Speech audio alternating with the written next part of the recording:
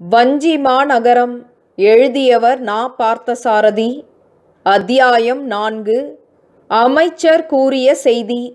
மறுநாள் வைகரையில் நீராடி காலை வேளையில் காத்திருந்த குமரனை அமைச்சரின் தூதுவர்கள் வந்து அழைத்து சென்றார்கள்.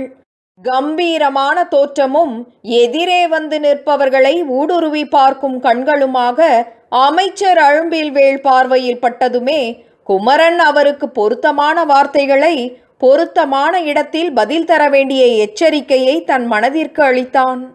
வேளாவிக்கோ மாளிகையின் நடுமண்டபத்தில் அங்கும் இங்குமாக உலாவிக்கொண்டே சிந்தித்துக் கொண்டிருந்த அழும்பில்வேள் அதே நிலையில்தான் குமரனை வரவேற்றார்.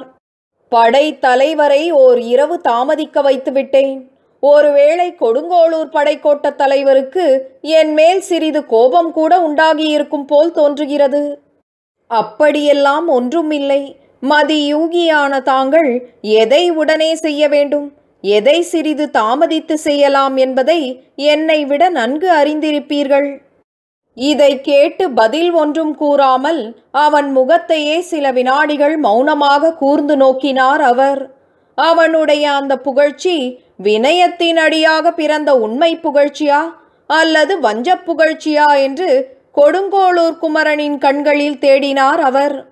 பின்பு சுபாவமாக கேட்கிறவர் போல் அவனை கேட்கலானார். நம்முடைய தூதுவர்கள் கொடுங்கோளூருக்கு வந்திருந்த சமயத்தில் நீயும் கூட படைக்கோட்டத்தில் இல்லை போலிருக்கிறது.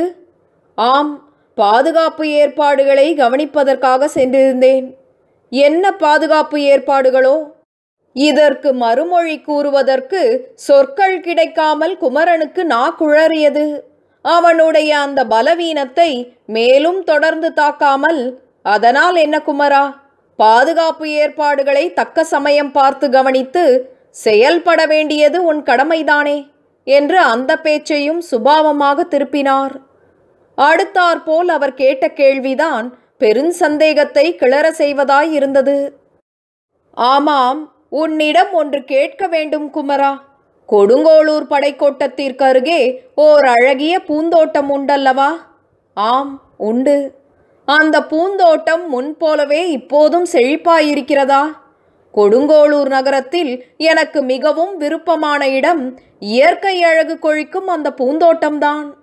இப்போது மறுமொழி கூற நாக்குழறியது அவனுக்கு. என் வயதுக்கும் முதுமைக்கும் இப்படிப்பட்ட அழகிய பூங்காக்களில் பிரியம் வைப்பது அவ்வளவாக பொருத்தமில்லை என்று உனக்கு தோன்றலாம் குமரா.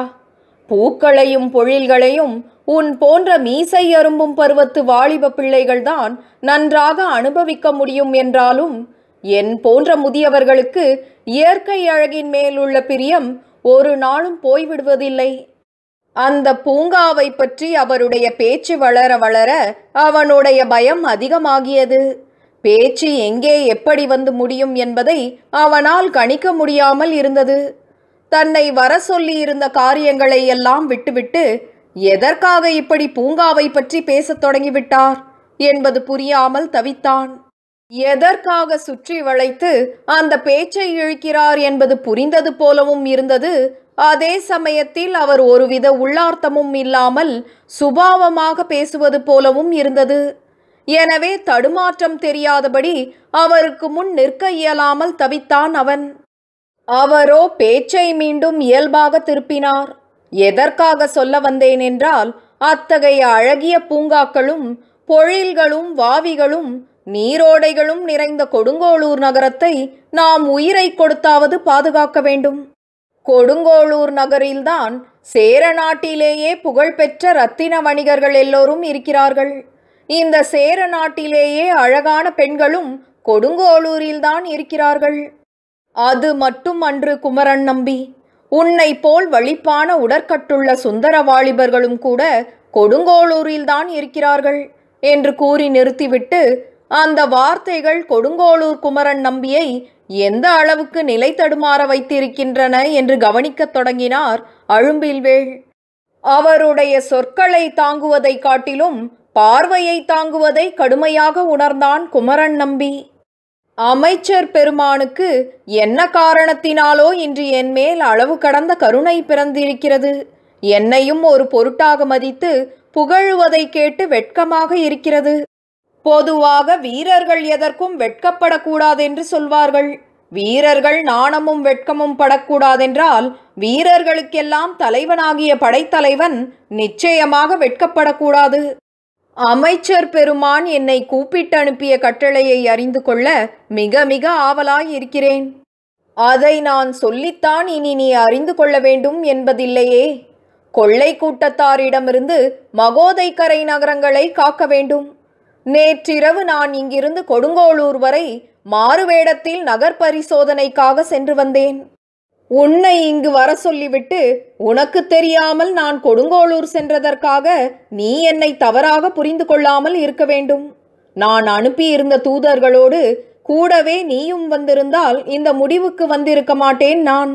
வினாடிக்கு வினாடி கொடுங்கோளூரை பற்றி கவலைப்படும்படியான செய்திகள் வந்து கொண்டே இருந்தன. அதற்கேற்றாற்போல் நீயும் அங்கிருந்து வராமற் போகவே எனக்கு ஒன்றும் புரியவில்லை. தலைநகரிலிருந்து கொடுங்கோளூருக்கு வரும் பெருஞ்சாலையில் நான் செல்லவில்லையாதலால் உன்னையும் இடைவழியில் சந்திக்க வாய்ப்பில்லை. கொடுங்கோளூருக்கு நான் போயிருந்தபோது கேள்விப்பட்ட ஒரு செய்தி என்னை பெரும் கலக்கத்துக்கு ஆளாக்கி விட்டுவிட்டது. அப்படி என்ன பரபரப்பான செய்தி அது? நேற்று முன்னிரவில்தானே நானும் அங்கிருந்து புறப்பட்டேன்.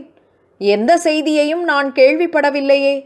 என்ன செய்வது? நீ அங்கிருந்து புறப்பட்டபோது அப்படிப்பட்ட செய்தி எதை பற்றியும் நீ கேள்விப்பட நேரவில்லை. நான் போயிருந்தபோது கேள்விப்பட நேர்ந்து விட்டது என்ன நடந்தது கொடுங்கோளூரில்? பெரிதாக ஒன்றும் நடந்துவிடவில்லை சேர நாட்டிலேயே அழகான பெண்கள் கொடுங்கோளூரில்தான் இருக்கிறார்கள் என்று கூறி பெருமைப்பட்டேனே. ஆம் பெருமைப்பட்டீர்கள். அதற்கும் கொடுங்கோளூரில் நேற்று இரவு நடைபெற்ற சம்பவத்திற்கும் என்ன தொடர்பு?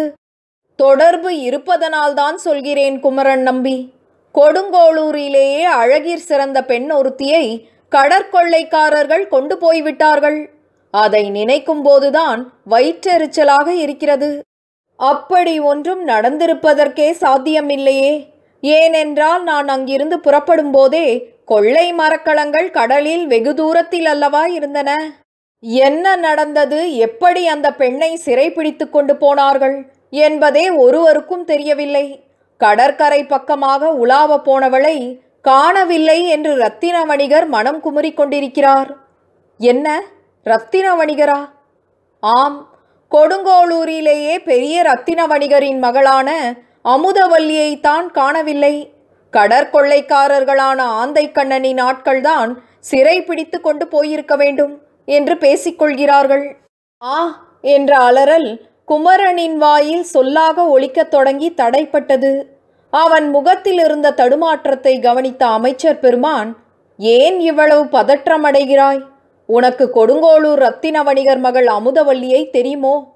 என்று கேட்டுவிட்டு அவன் நிலையை கூர்ந்து கவனிக்கலானார் அமைச்சர்.